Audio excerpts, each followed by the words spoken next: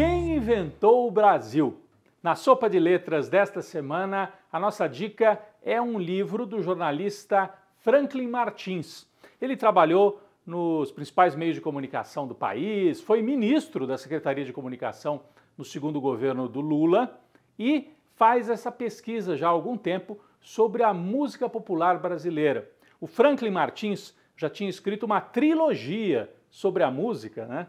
Do século XX para frente, do período em que há registro, gravações, registro fonográfico.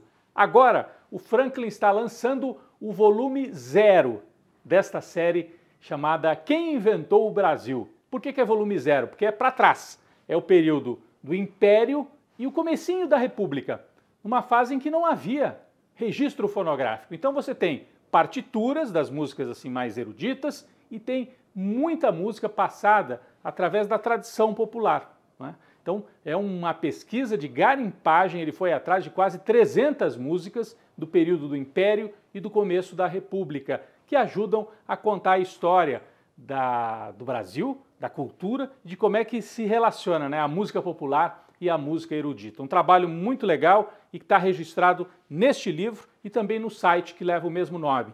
Quem inventou o Brasil?